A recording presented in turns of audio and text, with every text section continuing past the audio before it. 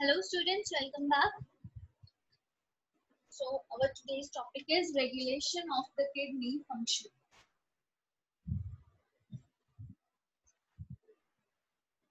Uh, okay students.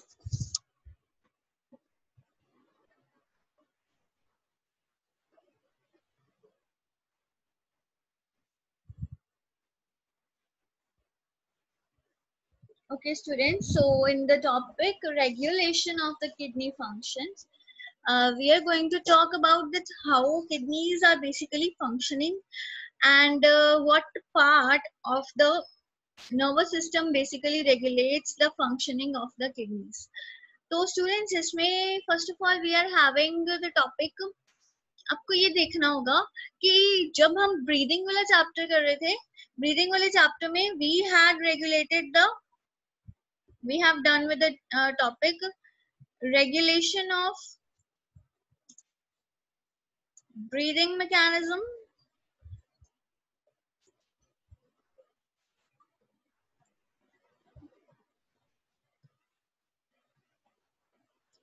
then heart वाले chapter में circulation में हमने uh, देखा था regulation of the circulation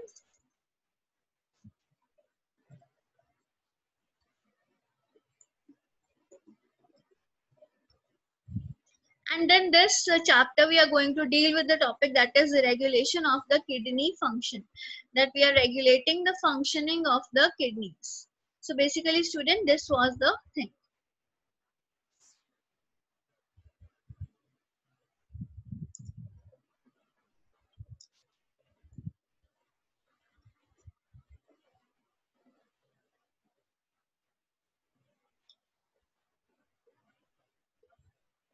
So, in the topic regulation of the kidney function, first of all, we are going to talk that uh, how it is functioning. It is done by hormonal feedback mechanisms involving the hypothalamus, the juxtaglomerular uh, apparatus, and the heart. It is done by hormonal feedback mechanism involving the hypothalamus, juxtaglomerular apparatus and heart. Regulation of the kidney functions changes in blood volume, body fluid volume, and ionic concentration activates osmoreceptors in the body.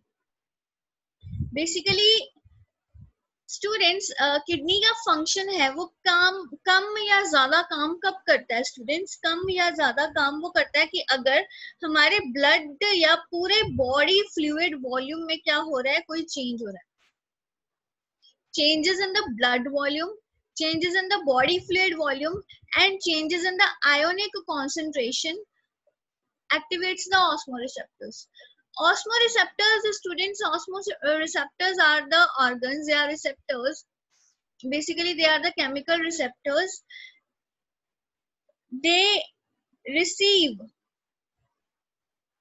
receive या judge the change in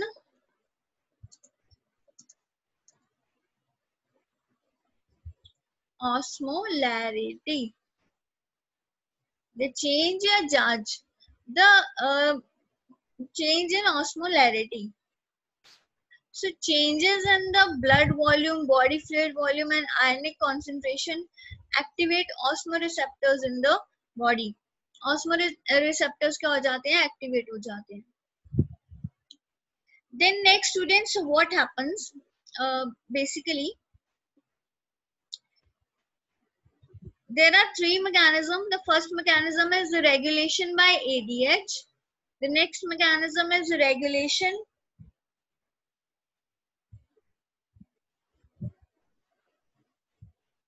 First mechanism is regulation by EDH. Next is regulation by renin. And third is regulation by ANF. ठीक है तो पहले हम ADH के बारे में पढ़ते हैं The ADH is a hormone and it is known as the anti diuretic hormone इसका नाम क्या है? This is the anti diuretic hormone और also named as the vasopressin चाहे एंटी डायरियोटिक हार्मोन की बात हो रही है, तभी भी यही हार्मोन है एडीएच एंड चाहे वैसोप्रेसन की बात हो रही है, तभी भी क्या है? यही है this is the ADH hormone when the body fluid level decreases, the osmoreceptors stimulate the hypothalamus to release antidiuretic hormone ADH और वेसोप्रेसिन मतलब एडीएच हार्मोन क्या होता है? कब रिलीज़ होता है। कब रिलीज़ होता है? जब हमारी बॉडी फ्लूइड डिक्रीज हो जाती है। Students diuresis is the word यहाँ पे लिखा हुआ है this is the word diuresis the word diuresis is related with urination ठीक है? डायूरेसिस का मतलब यूरिनेट करना। एंटी डायूरेटिक चीज़ें जो होती हैं they are the things that prevent the urine formation जो डायूरेटिक थिंग्स होती हैं दे आर द थिंग्स और substances that basically stimulate the urine formation जैसे कि कॉफ़ी है टी है एंड कोक वगैरह जो भी हमारे सॉफ्ट ड्रिंक्स होते हैं, उसमें क्या होता है? कैफीन होता है। Caffeine is also stimulating substance जो हमारे ब्रेन को स्टिमुलेट करता है but along with the stimulating one part जो उसका स्टिमुलेटिंग वाला पार्ट है उसके अलोंग वो एक और भी फ़ंक्शन uh, परफॉर्म कर रहा है and that function is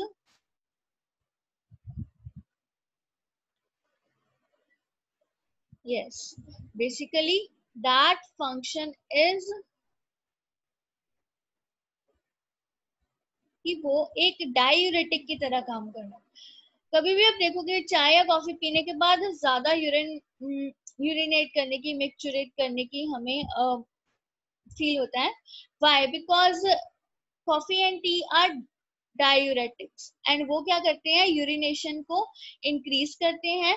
But on the other hand anti diuretic hormone is a hormone देखो, जब हमें प्यास लगी है this in this diagram you can see ये क्या है? ये एक आदमी है, जब इसको प्यास लगी है तो प्यास लगी है का मतलब क्या हो गया? इसकी बॉडी के अंदर क्या है? पानी की कमी हो रही है. पानी की कमी हो गई है तो ये क्या हो गया? एक तो स्टिमुलस हो गया डिहाइड्रेशन हो गया, एक टाइप का, एक टाइप से कि इसकी बॉडी में पानी का अमाउंट कम हो गया तो इसको ज़रूरत है, किसकी ज़रूरत है, पानी की ज़रूरत है। इससे क्या हो गया, इसकी बॉडी में तब तक एडीएच हार्मोन रिलीज़ होता रहेगा, जब तक ये पानी नहीं पी लेगा सफिशियंट अमाउंट ऑफ़ वाटर नहीं पी लेगा। तभी स्टूडेंट्स इसीलिए ऐसा होता है कि गर्मी के अंदर क्या होता है, गर्मी में हमें यूजुअली प्यास लगी रहती है। और हमारा जो बॉडी फ्लूड वॉल्यूम है वो कम या ज़्यादा नहीं होता, या तो नॉर्मल रहता है या कम रहता है। तो उस सिचुएशन में जो यूरिन फॉर्मेशन है, वो क्या हो जाती है? कम हो जाती है। यूरिन फॉर्मेशन कम क्यों हो जाती है? क्योंकि जो हमारे डीसीटी एंड सीटी है, वो ज़्यादा से ज़्यादा क्या करते हैं? रीअब्जॉर्प्शन करते हैं। तो basically this is the thing कि एडीएच हार्मोन सिक्रीट होने लग गया। तो उसने क्या किया? Water reabsorption from DCT and CT को क्या किया? स्टिमुलेट किया। That is the distal convoluted tubule and the collecting tubule tubule and connect, uh, collecting tubule now are going to basically हाँ ये बहुत ही ज़्यादा uh, जो है सेक्रीशन रीअब्जॉर्प्शन कर रहे हैं। और ये होने के साथ साथ जो यूरिन फॉर्मेशन थी वो बहुत ज़्यादा कम हो गई। ठीक है? Thus ADH prevent diuresis and increases the body fluid volume. ADH is the first part and ADH कब रेगुलेट करता है? जब हमारी बॉडी का फ्लूइड का हो जाए, कम हो जाए when our body fluid fall falls अब जब देखो स्टूडेंट्स जब हमने पानी पी लिया, ठीक है? Increase in the fluid volume switches off the osmoreceptor osmoreceptors को पता चलेगा कि अब क्या हो गया? हाइपोटोनिक हो गया हमारा सॉल्यूशन मतलब हमने पानी पी लिया, जो बॉडी फ्लूइड वॉल्यूम है वो इंक्रीज हुई। जो हमारी बॉडी है, वो बॉडी फ्लूइड वॉल्यूम को जज कैसे करती है? बेसिकली टोनिसिटी से अगर हाइपरटोनिक हो गया हाइपरटोनिक सॉल्यूशन है तो भी वो क्या करेगी? ऑस्मोसिस रेगुलेट करेगी। तो भी वो क्या करेगी? यूरिनेशन की फॉर्मेशन को कम करेगी। एंड अगर हाइपोटोनिक सॉल्यूशन उसने जज किया तो क्या करेगी, ये यूरिन फॉर्मेशन की प्रोसेस को बढ़ा देगी इंक्रीज कर देगी। तो बेसिकली जो ऑस्मोरिसेप्टर्स हैं they detect the tonicity and not the and not the total blood volume total blood volume तो हमारे रिसेप्टर्स कैलकुलेट भी कैसे ही कर सकते हैं, कर ही नहीं सकते हैं। तो वो क्या करते हैं बेसिकली टोनिसिटी चेक करते हैं। Amount of water molecules and salt molecules का कंपैरिजन क्या है, वो चेक करते हैं। तो अब जब नॉर्मल हो गई है कंडीशंस तो क्या हो गया? ये ऑपोजिट uh, उसने नेगेटिव फीडबैक दे दिया। मतलब ऑस्मोरिसेप्टर्स ने जज किया कि पानी क्या हो गया? ज़्यादा हो गया। तो एडीएच की रिलीज़ क्या थी? वो बहुत ही ज़्यादा कम हो गई। एडीएच की रिलीज़ कम हो गई तो जो हमारे डीसीटी एनसीटी है उन्होंने रीअब्जॉर्प्शन क्या कर दी? कम कर दी।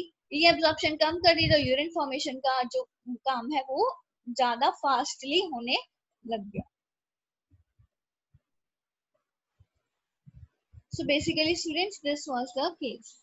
Now, next thing is adh constrict the blood vessels. ADH जो है वो ब्लड वेसल्स को भी क्या कर देता है? कंस्ट्रिक्ट कर देता है कॉन्ट्रैक्ट कर देता है. ब्लड वेसल्स का जो डायामीटर है, उसको छोटा कर देता है. अब ब्लड वेसल्स का डायमीटर छोटा करने से हो क्या जाता है?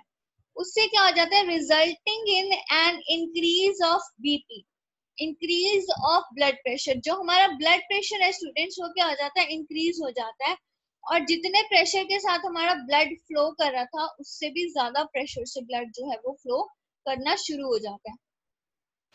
This increases the glomerular blood flow and GFR तो ग्लोमेरुलर के पास जितना ब्लड जा रहा था, वो क्या हो रहा है? वो क्या हो गया? इंक्रीज हो गया। ठीक है? इससे भी क्या होगा, फर्दर फ़र्क पड़ेगा हमारे यूरिनेशन पे। Now students the next thing is regulation with the help of juxta glomerular apparatus.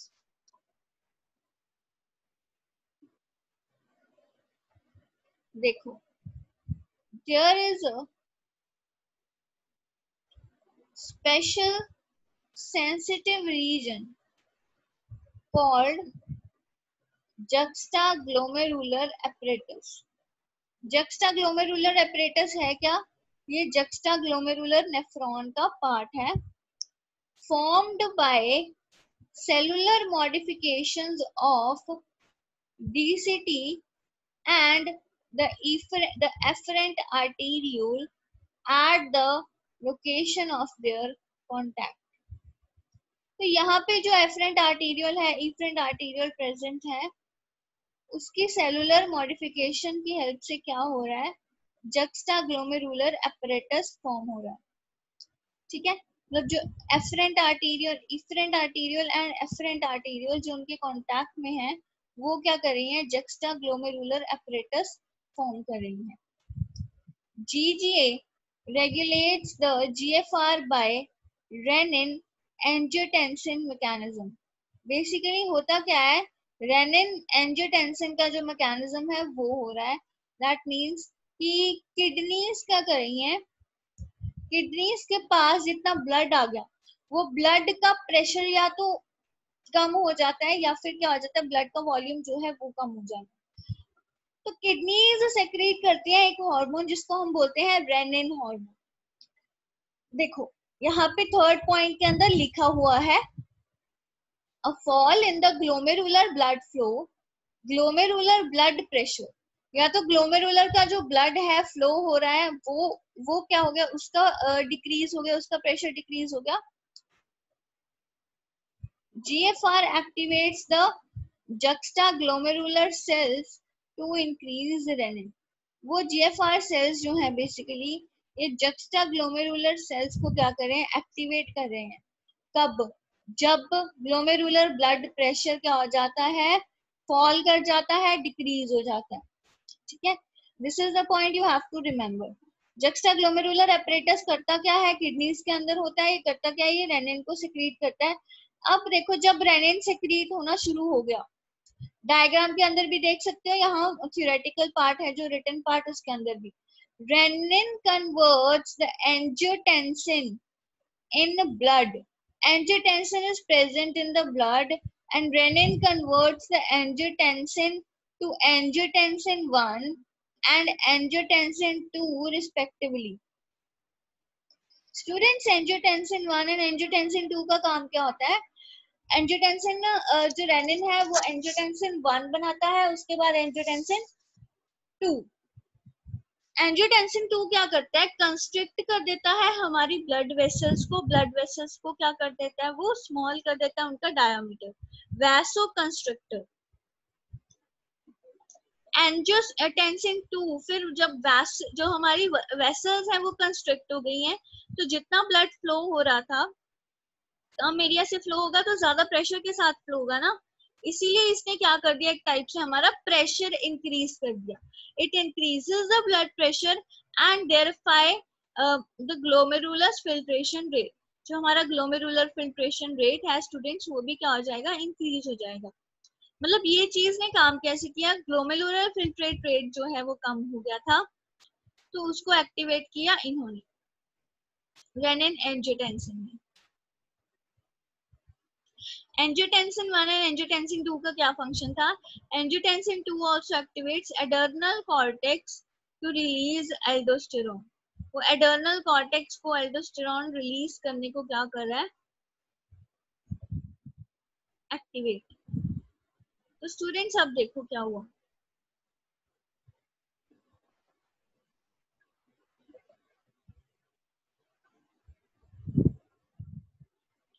उन्होंने क्या किया था? वैसो कंस्ट्रक्शन किया था स्टूडेंट्स वैसो कंस्ट्रक्शन होने से वेसल्स क्या हो गई? हमारी कंस्ट्रक्ट हो गई।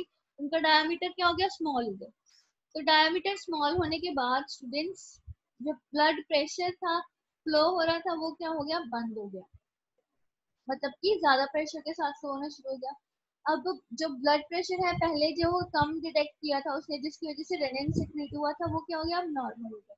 और नेक्स्ट उसने क्या किया? एल्डोस्टिरोन को भी सिक्रीट किया। मतलब एंजियोटेंसिन टू के दो काम थे, एक तो वैसो को कंस्ट्रक्ट करना वेसल्स को कंस्ट्रक्ट करना, vaso constrictor and next function is to secrete aldosterone अब स्टूडेंट्स एल्डोस्टिरोन क्या कर लेट अस सी ये देखो यहाँ पे रेनिन प्रोड्यूस हुआ, फिर एंजियोटेंसिन बनाया, उसने एंजियोटेंसिन टू बनाया एंजियोटेंसिन टू ने क्या किया? आर्टरीज को कंस्ट्रक्ट किया और एडर्नल ग्लैंड को स्टिमुलेट किया एल्डोस्टिरोन बनाने के लिए। अब एल्डोस्टिरोन क्या करेगा? एल्डोस्टिरोन फर्दर स्टूडेंट्स रीअब्जॉर्प्शन को इंक्रीज करेगा। Aldosterone causes reabsorption of sodium and water from the distal parts of the tubule जो रीनल टिब्यूल के डिस्टल पार्ट्स हैं students they are the DCT and the CT ये भी क्या कर रहा है? ये भी डीसीटी और सीटी को क्या कर रहा है? इंक्रीज करने के लिए मजबूर कर रहा है कि आप अपने फ़ंक्शंस को क्या करो इंक्रीज करो, जिसकी वजह से जो रीअब्जॉर्प्शन है वो ज़्यादा से ज़्यादा हो। एंड यूरिन फॉर्मेशन है वो कम से कम फॉर्म हो। ठीक है? तो students in this way the renin angiotensin thing is functioning अब फिर से जब नॉर्मल हो जाएगा, सब कुछ हमने पानी पी लिया तो ब्लड वॉल्यूम इंक्रीज हो गई ब्लड वॉल्यूम इंक्रीज होने से प्रेशर जो है वो और भी ज़्यादा इंक्रीज हो जाएगा। तो ये सब क्या करेगा? उल्टी डायरेक्शन में काम करेगा। रेनिन प्रोड्यूस होना बंद हो जाएगा। एंजियोटेंसिन भी प्रोड्यूस होना बंद हो जाएगा। वेसल्स जो है हमारी कंस्ट्रक्ट हो जाएँगी दोबारा से। वेसल्स कंस्ट्रक्ट होगी तो एल्डोस्टेरॉन भी क्या आ जाएगा? सिक्रीट होना बंद हो जाएगा। तो students in this way you can see कि ये ये जो सारे काम है, ये क्या कर रहे हैं? एक दूसरे के ऑपोजिट वर्क कर रहे हैं ऑपोजिट काम कर रहे हैं। Now regulation of kidney function by A N F A N F students क्या है? This is the arterial natriuretic factor A N F is the arterial natriuretic factor arterial natriuretic factor होता कहाँ पे है स्टूडेंट हार्ट के अंदर। अब देखो ये जो arterial natriuretic factor है, इसका क्या कंसेप्ट है? हमने पानी पी लिया, हमने पानी पी लिया तो हमारी ब्लड जो वॉल्यूम है वो क्या हो जाएगी? इंक्रीज हो जाएगी।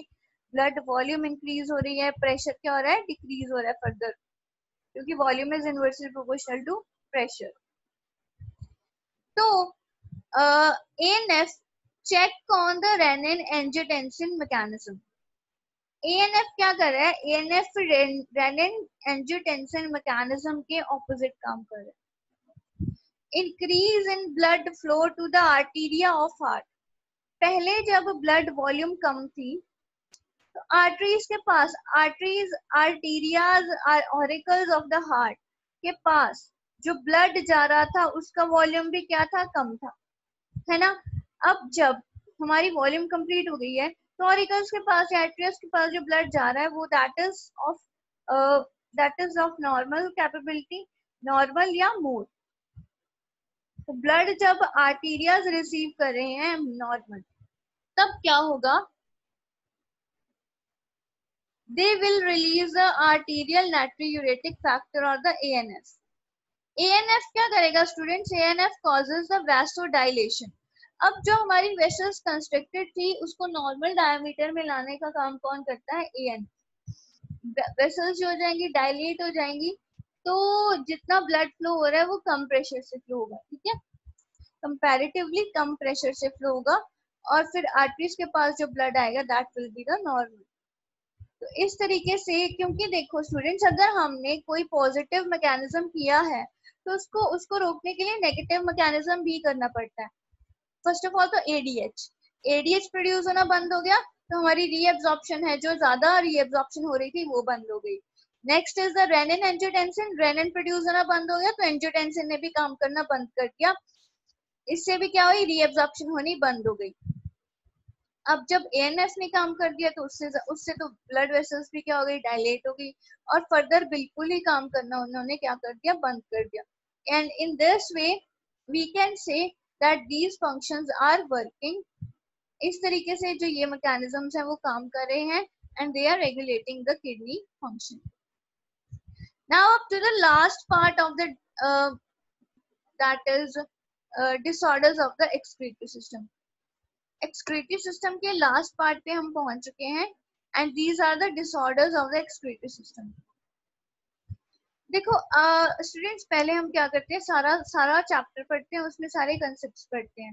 कंसेप्ट पढ़ने के बाद हमें पता चलता है कि डिसऑर्डर्स क्या हो सकते हैं ताकि हम उसको अच्छे से डील कर सके। Basically disorders are the practical application of whatever we have read so far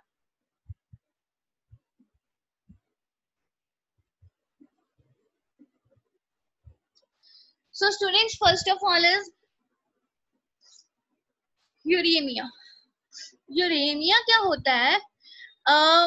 blood के अंदर यूरिया। ब्लड के अंदर यूरिया का जमना यूरिया ब्लड के अंदर तभी जमेगा अगर वो प्रॉपरली एक्सक्रीट आउट नहीं होएगा।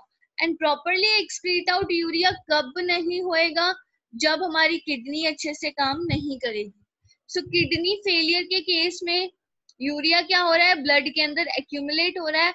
And it is causing the disease known as uremia ठीक है accumulation of urea in the blood due to malfunctioning means failure या not proper function जो भी uh, है वो प्रॉपर फ़ंक्शन नहीं करता उसको हम क्या बोलते हैं due to malfunctioning of kidney basically what is happening the blood uh, the blood is not able to be filtered properly हालाँकि होना क्या चाहिए? ब्लड में से सारा यूरिया निकल जाना चाहिए और हमारे ब्लड में यूरिया के बिल्कुल भी ट्रेसेस भी नहीं मिलने चाहिए।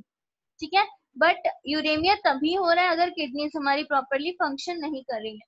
Kidneys are not reabsorbing the nitrogenous wastage and वो क्या है? सिर्फ़ वाटर एंड मिनरल्स जो है, वो एक्सक्रीट आउट करना शुरू कर रही है। एंड ये मैल फंक्शनिंग ऑफ़ किडनी से शुरू हो रहा है काम and it may lead to kidney failure ये फर्दर किडनी फेलियर की तरफ़ जा सकता है। कि पहले तो हमारी थोड़ी सी किडनीज ने काम करना बंद किया। उसके बाद ultimately whole kidney is resulting to fail so, it may result in the renal failure. The next thing is the renal calculi. Renal calculi का मतलब क्या होता है? कैलक्यूलाई या whatever the pronunciation is according to you kidney में stones बन जाते calculi is the word that is taken up from calcium तो कैल्शियम है स्टूडेंट्स हमारी बॉडी के अंदर अगर वो प्रॉपरली मेटाबोलाइज नहीं होगा तो किडनीज के क्या होंगे? स्टोन्स फॉर्म होने शुरू हो जाएँगे किडनी के अंदर। किडनी के अंदर मतलब जो यूरेटर जो हमारे अंदर ट्यूब्यूल्स ऑफ़ द किडनीज है। नेफ्रॉन वाला पार्ट नहीं है। हमने पढ़ा, एक तो मेड्यूला है, एक कॉटेक्स है। उसके बाद हमने पढ़ा कि यूरेटर है, यूरेटर क्या करता है? ब्रांचिंग करता है मेजर कैलाइसिस के अंदर एंड वो फर्दर ब्रांचिंग करता है माइनर कैलाइसिस के अंदर। देखो यहाँ पे these are the this is the ureter. These are the major calyces major calyces जो है, वो फर्दर ब्रांचिंग कर रहे हैं फर्दर ब्रांच अप हो रहे हैं एंड ब्रांच अप होने के बाद वो रीनल पिरामिड्स के अंदर जा रहे हैं, जहाँ पे क्या है? हमारे नेफ्रॉन्स प्रेजेंट है। तो स्टूडेंट्स या तो स्टोन फॉर्मेशन हो जाती है एंड कैल्शियम स्टोन एक्यूमुलेशन हो जाता है इनसाइड द मेजर कैलाइसिस या माइनर कैलाइसिस देखो स्टोन और insoluble mass of crystallized uh, crystallized salts oxalates etc जो oxalates होते हैं बेसिकली वो क्या होते हैं? फॉर्म होना शुरू हो जाते हैं within the kidney kidney देखो किडनी के अंदर ऑक्सिलेट्स क्यों फॉर्म होंगे? अगर हमारे ब्लड के अंदर ज़्यादा प्रेजेंट होंगे ये जो सॉल्ट्स हैं जब हमारा किडनी uh, फिल्ट्रेशन करता है तब क्या करता है? ब्लड यहाँ पे एक्यूमुलेट होता है स्टूडेंट्स तो जमते जमते जमते वो स्टोन बड़ा बड़ा बड़ा होता होना शुरू हो जाता है. तो स्टोन और insoluble mass of crystallised salts formed, is formed within the kidney, and this condition is known as the renal calculi. या तो मेजर कैलाइसिस के अंदर, या माइनर कैलाइसिस के अंदर, या यूरेटर के अंदर। अगर किडनी स्टोन्स हैं, उनका अमाउंट है बहुत ज़्यादा कम। फिर तो वो क्या आ जाते हैं? अच्छे से वो एक्सक्रीट आउट हो सकते हैं हमारी बॉडी में से। आप डायग्राम में देख सकते हो कि ये अगर इनका अमाउंट बहुत ज़्यादा छोटा है तो हमारे यूरिन में ये एक्सक्रीट आउट हो जाती क्योंकि अल्टीमेटली क्या करना होता है, इन्होंने माइनर से मेजर मेजर के लाइसिस से यूरेटर यूरेटर से urinary bladder and urinary bladder से यूरेथ्रा तक पहुँचना ऐसे करके ये स्टोन्स बाहर निकल जाते हैं। तो जिसको भी ये किडनी स्टोन की प्रॉब्लम होती है, उसको मेडिसिन दी जाती हैं, जिससे किडनी का जो स्टोन है, वो टूट जाए। अगर बड़ा स्टोन प्रेजेंट है तो वो टूट के छोटा हो जाए एंड फाइनली एक्सक्रीट आउट हो जाए हमारे यूरेटर के through next disorder is a glomerulonephritis glomerulo glomerulus जो हमारे ग्लोमेरुलस है ना बोमैंस कैप्सूल एंड ग्लोमेरुलस उनमें इन्फेक्शन हो जाती है। इन्फेक्शन होने से क्या हो जाती है?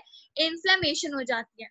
सूजन हो जाती है। This is the healthy kidney and this is the glomerulonephritis this also leads to a very painful condition and the kidney mal malfunctioning से बेसिक फर्दर uh, जो है हमारा काम किडनी फेलियर तक ही हो सकता है and to the last part of the kidney that is hemodialysis. Students, hemodialysis is the process of removal of urea in the patients with uremia.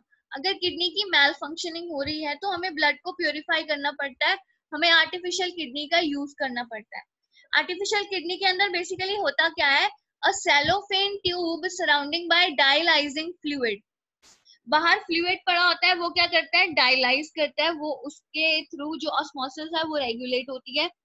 The artificial kidney contains a coiled cellophane tube surrounding by dialysing fluid. It has same composition of plasma except the nitrogenous wastes. Nitrogenous wastage नहीं होते हैं उसमें, बाकी सारा कुछ क्या होता है? Same as the blood plasma तो स्टूडेंट्स उसके साथ होता क्या है? बेसिकली उससे ये होता है कि जो हमारा नाइट्रोजनस वेस्ट है मतलब यूरिया है, वो क्या कर जाता है? वो ट्रांसफ़र हो जाता है to the artificial kidney and इसकी हेल्प से हमारा जो ब्लड है, वो अच्छे से साफ़ हो जाता है। Is drained from a convenient artery and is pumped into the dialysing unit after adding an anticoagulant like heparin. Heparin वाला जो anticoagulant है, हम वो ऐड कर देते हैं। Blood drained from a convenient artery is pumped into the dialysing unit after adding a anticoagulant like heparin. Heparin क्या करता है फिर प्रिवेंशन करता है कोएगुलेशन की ताकि ब्लड जो है वो क्लॉट ना हो क्योंकि स्टूडेंट्स अगर ब्लड क्लॉट हो गया तो फिर वो डायलिसिस कैसे होगा इसलिए हेपेरिन जो चीज़ है वो डाली जाती है ताकि ब्लड क्लॉट ना हो The porous cellophane membrane of the tube allows the passage of molecules based on the concentration gradient. तो concentration gradient के according जो मॉलिक्यूल्स है, वो क्या हो जाते हैं? डिफ्यूज आउट हो जाते हैं। As nitrogenous wastage are absent in the dialysing fluid वो फ्रीली हमारे ब्लड से बाहर हो जाते हैं। एंड जब हमने ब्लड के ब्लड को दोबारा बॉडी के अंदर डालना है तो हम उसमें क्या कर देते हैं? एंटी हेपेरिन डाल देते हैं। बट स्टूडेंट्स ये जो ट्रांसप्लांट दिस इज़ हेमोडायलिसिंग का प्रोसेस होता है ये बहुत ही ज़्यादा पेनफुल होता है। तो इसीलिए हम क्या कर देते हैं किडनी ट्रांसप्लांट कर देते हैं। Kidney transplant is always possible from a close relative and it is taken in the case of acute renal failures hemodialysis भी एक्यूट रीनल फेलियर के केसेस में ही होती है और transplantation okay students so that was all about today's uh, chapter today's class and we have completed with human uh, excretion. In the next class we are going to start with the last chapter of the human physiology according to the cbse new uh, syllabus norms. Till then thank you and have a nice day